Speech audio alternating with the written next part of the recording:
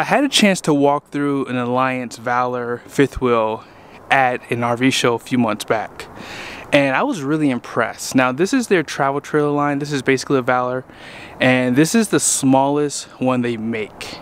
Now I have my truck here. I'm at Parris RV here in Payson, Utah. Be sure to check these guys out if you're in the market and if you do buy, let them know you saw the video, okay?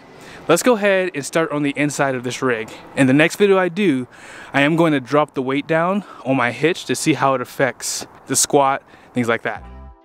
Now the Valor 21 T15 is just under 27 feet long.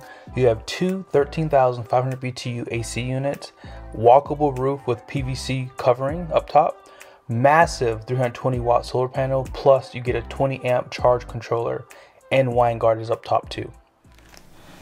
Make no mistake, this is probably one of the nicest travel trailer toy haulers I've ever seen. I normally walk through these. I don't normally do videos on them, but nevertheless, this is one rig that you really have to consider. So in this area, they have two Coleman Mach AC units. And I don't think you needed two for this rig. You also have two entrances for the bathroom, which I'll show you here in a second. Now, normally I don't show this to you guys this way, but this rig just got here. And you see that you have a pocket door. The slide is in.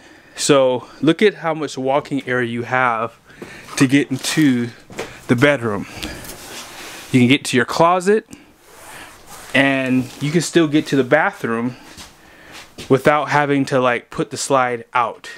And if you don't necessarily have toys in here or if you don't mind pulling the toys out, you could sleep back here and leave the slide in. So this is something to consider. And of course you have your HappiJac and you have a bed above there. And let's go ahead and open up the back.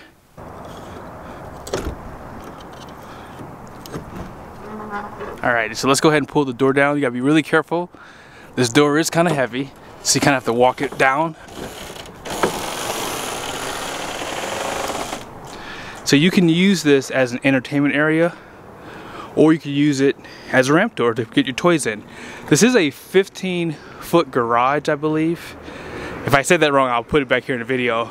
But there's a lot of floor space. You can see the, the D-rings on the floor so you can tie things down pretty easily inside of here too. But let's go ahead and hop back in. I just wanted to show you guys this. And I think we're gonna leave it open too. Now out back, you do have power plugs above here. And I like that they give you a window on both sides. Check out your blinds. Room darkening. And check out your kitchen. It's just on this one side. Nice countertop space, large sink with a divider. And then check out how big this is. This is huge. I mean, that's something you see on a pretty big fifth wheel. And something I like about Alliance is they do make pretty much everything they have 101 inch wide body. Even their tiny fifth wheels they do. They also reinforce these drawers so you can put heavy stuff in here. And they are using a Greystone oven which is this is probably the biggest you're gonna see on this size rig. Three burner cooktop above. Also check out this drawer down below. This is for your pots and pans and because they reinforce it, you don't have to worry about those falling through. Most likely this is going to be a 12 volt refrigerator. Most RV manufacturers are using these now. And yes it is. And this is actually a decent size too. And here's the top. And then even further up, more storage. Love the tinted glass. This is my kind of RV.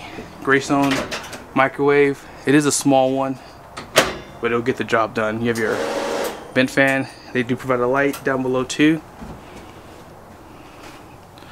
Huge windows.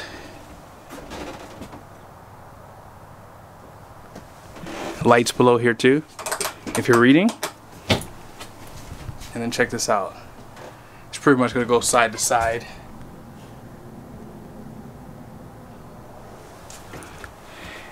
And you do have a vent fan that works really well in this area. You turn it on from here. It also has lights and a motion light too. And check out your control panel. I'm not a huge fan of these, but these get the job done. You can control your water heater, water pump, tank heaters, and then here's some of your lights. This does have ground effects lights, which is nice. You can put out that awning pretty easily too. And one thing that every RV manufacturer needs to do, dimmer. Check this out. That is super nice. These lights are really bright at night. And I like that they give that to you. And so I almost forgot to show you guys above the sink here and I apologize. So you do have a JBL sound system inside and out. And then here's your television.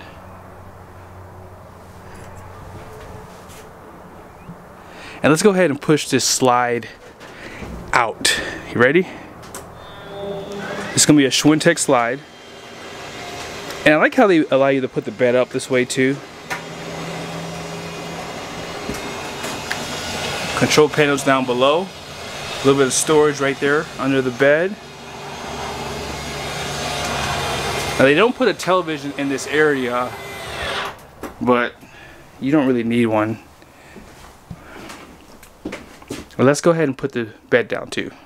Alrighty, so let me just show you guys power plug down there. Here's a walk area. I love it. Storage above. And as you guys saw, even when the slide is in, you can still get to your closet. You can fold your clothes down there. A little bit of space down below here. And they give you a rack too to hang stuff. Did they put lights in here? I don't see lights. But you have enough from the lights on the ceiling in here. And then check out the bathroom. They do provide pocket doors for both of these areas, which is a huge save. They are using a plastic toilet, which is interesting. And decent sized shower. I mean, this is what you're going to see on these size RVs. Vent fan. That can be controlled right here. And they do provide the lights on here too. Actually, wow, it gives you a lot of light. I'm actually surprised by that. It's a good bit of light. Small sink, but you do have some countertop space right there. And there is storage below here. Now let's go ahead and check out the outside. One more thing. I like the clearance that they give you from the RV to your truck. And of course if you get a weight distribution hitch it could put it further back for you as well. But power tongue jack with a light right there. And works pretty well. You have two propane tanks with storage for batteries. So you can probably build a nice little battery um, bank right there. On this side, you have your uh, Onan generator. There it is. You have your Cummins Onan QG4000. And that should run this entire rig too. And then check out your front cap design. There is a light right there.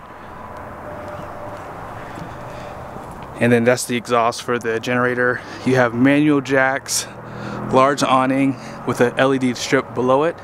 They do have a light, or a porch light as they call it right there. Aluminum steps, and Westlake tires. Now, I've heard that Westlake tires are not a terrible brand. You just have to make sure you keep the tire pressure maintained, things like that. But here's the capacity, 2,470 pounds per, and that's gonna be at 80 PSI. ST 225 75 15 and this is a load range E tire there's no upgrade for the suspension and they provide that spare tire out back there more manual jacks and then your speakers are above right there and then check out the back while it's open I don't know if I can put this up with one hand, but we'll try. Yeah, this door is definitely heavy. So I would even recommend having two people for this. Or at least a spotter. So there's the back. You have some um, loading lights right there.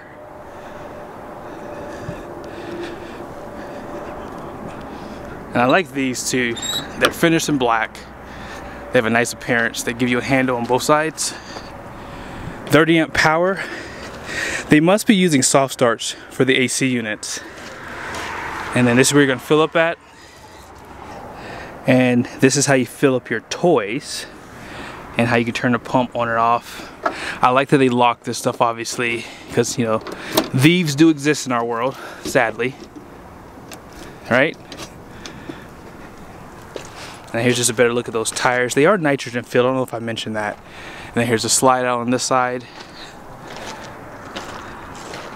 Suburban furnace. And check this out. This must be like a 12 gallon water heater that 12 gallon sure is 12 gallons and then here's your storage for the outside. You probably noticed that there was no storage on the passenger side. So that's not a surprise because of what you saw on that side. The bathroom's over there, so there's not enough space for that. Here's your wet bay. Got your outside shower. They have lights, power, cable. You can control the water pump out here. Nice stuff. And this is under lock and key too. And then here's where you're gonna dump from, your low point drains down there. And this is where you're gonna pull your valves from. You, hopefully you can see that.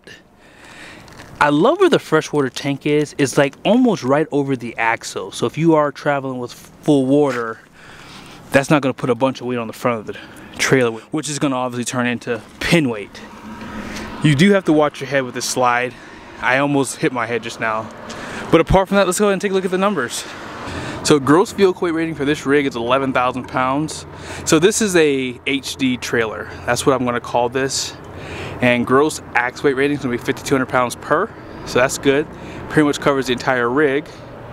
And unloaded vehicle weight is 7,242 pounds, which gives you 3,718 pounds of capacity. So that's really good for this size rig. Now let's go ahead and either use my truck as an example for hitch weight and see if it has enough capacity or I might pick another truck for you guys. I recently did a video on this 2023 Ram 2500 Laramie. This also has a Cummins option. Now, anytime I do a truck review, I try to show you the window sticker and the payload that way you have a good idea how the options are going to affect that number. But uh, let's go ahead and take a look at everything in the spreadsheet. I have the numbers in for the truck. The only one I'm not sure of is the gross combined vehicle weight rating but the towing capacity and everything else is going to be accurate for this specific build here. Now, what I did was I assumed the husband and wife, 200 pound male, 135 pound female, and a 60 pound dog. I also figured 250 pounds for cargo inside the bed of the truck, which gives you 645 pounds. Now, the payload that I'm showing you here is from that truck as I mentioned. So if you take this number and subtract it here, this is what you have left to tow a trailer. As far as the alliance goes, we just saw the numbers for the trailer that I reviewed. Now, if you go onto the website, you always see this happen where the dry weight's a little bit lower, and that's because of any options. Take note that batteries and propane are never filled from the factory, so you have to make sure you keep that in the back of your mind when you're doing your numbers. So what I do is I take this number here and I divide it here and that gave me 13%. So in this scenario here, I'm going to use 13% because if you do plan on bringing toys with you, you're probably going to keep that number the same or you could even decrease it depending on how heavy your toys are. Like so if you have like a side by side or something like that, that could actually take some hitch weight off of the truck. So with that being said, if you take 7,242 pounds and then multiply that by 13%, that's going to give you 941 pounds. Now obviously no one goes camping this way so we have to add weight to the trailer. I'm going to go ahead and max out the loaded weight here and if you multiply that by 13% that's going to give you 1430 pounds. So with this passenger weight and cargo you're left with 52 pounds of payload so you really can't really take anyone else with you. Whenever you're doing your numbers, I think for a trailer like this, I probably would go for something that has like 2500 pounds of payload or more. Because if you do plan on putting heavy stuff inside the truck like a toolbox if you want to get a 50 gallon fuel tank you won't be able to use this truck. So i would just keep that in the back of your mind. And of course any half ton truck will not work with this setup here because this is a heavy trailer. And one last thing to note is this I don't know if the generator is included in this hitch weight online, so the hitch weight could be potentially heavier depending on whether or not they added that in these numbers. But I hope this was helpful. Again, special shout out to Parris RV. Be sure to give these guys a look up if you're in the market, and I'll see you guys in the next video.